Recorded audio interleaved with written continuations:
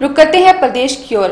आइए आपको ले चलते हैं शिमला की ओर। मंत्रिमंडल ने एक और महत्वपूर्ण निर्णय लेते हुए तृतीय व चतुर्थ श्रेणी के भर्ती एवं पदोन्नति नियमों में संशोधन करने को भी अपनी स्वीकृति प्रदान की है, जिनके लिए तृतीय श्रेणी पदों के लिए हिमाचल प्रदेश में स्थित स्कूलों से मैट्रिक व जमा दो परीक्षाएँ पास होना अनिवार्य बनाया गया है।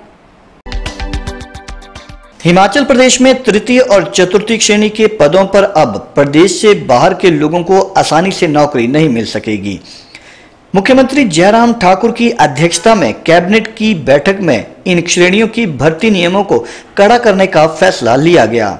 वीरवार को आयोजित इस बैठक में सूबे में ग्यारह पटवारियों समेत विभिन्न विभागों में 1500 से ज़्यादा पद भरने की मंजूरी भी प्रदान की गई। शिमला में आयोजित कैबिनेट मीटिंग के दौरान प्रदेश में अब तृतीय श्रेणी के पदों के लिए दसवीं और बारहवीं और चतुर्थी श्रेणी के लिए आठवीं और दसवीं की परीक्षा हिमाचल के स्कूलों से पास करना ज़रूरी होगा। ये शर्त हिमाचल के मूल निवासियों पर लागू नहीं होगी। जिन भर्तियों की प्रक्रिया शुरू या पूरी हो चुकी है, उन्हें छोड़कर अब नई भर्तियों को संशोधित नियमों के तहत ही भरा जाएगा। वहीं कैबिनेट ने ग्यारह उम्मीदवारों का पटवारी प्रशिक्षण के लिए चयन करने का निर्णय लिया। इनमें 933 उम्मीदवारों को मोहाल जबकि दो सौ बासठ को बंदोबस्त का प्रशिक्षण दिया जाएगा। शिमला और कांगड़ा में बंदोबस्त विभाग में 17 चेनमैन का चयन कर प्रशिक्षित भी किया जाएगा। प्रशिक्षण के बाद इन्हें पाँच साल के भीतर चरणबद्ध तरीके से नियुक्ति प्रदान की जाएगी। ठीक दो बजे शुरू हुई थी और मैं कह सकता हूँ कि इसमें अलग अलग मुद्दों के ऊपर मैराथन चर्चा हुई है। और इसमें जो मुद्दे हैं लगभग दो, एक सौ दो मुद्दों के ऊपर अलग अलग विभागों के बारे में विस्तार से चर्चा हुई है। वैसे तो पूर्व की कैबिनेट की बैठकों में देखा जाए तो हर मीटिंग में, हर विभाग में जो पद हैं उनको भरने के लिए वित्त विभाग से मंजूरी मिलने के बाद कैबिनेट में फैसला लिया जाता है।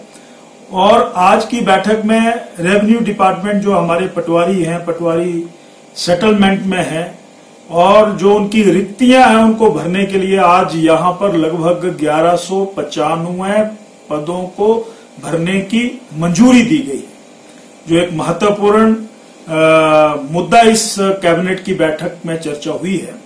दूसरा पिछले कुछ एक दिनों में बाहरी राज्यों के कुछ लोगों को यहाँ इस सचिवालय में नौकरी देने की बात कही गई थी। विपक्ष के मित्रों ने भी कुछ बातें उठाई थी।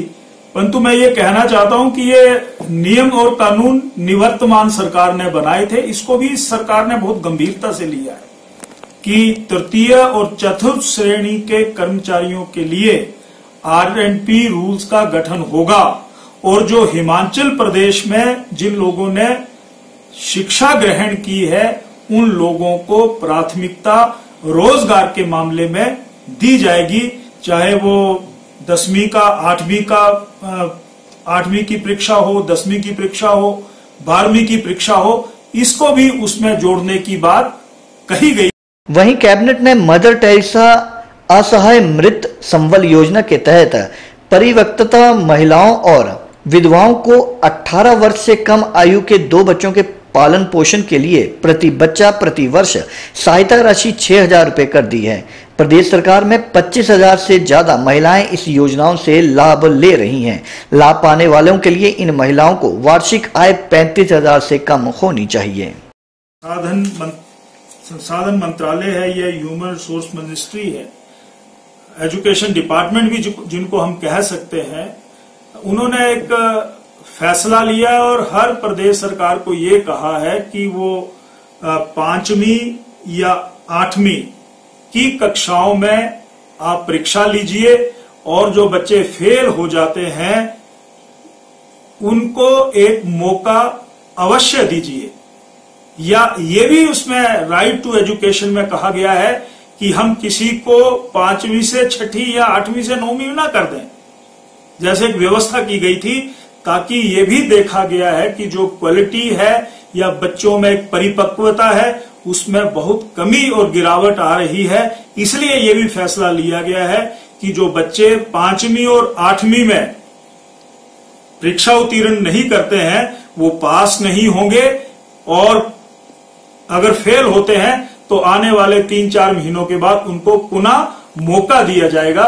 ये भी आज राइट टू एजुकेशन में एक चर्चा यहाँ पर हुई और हिमाचल प्रदेश में इसको लागू करने की बात कही।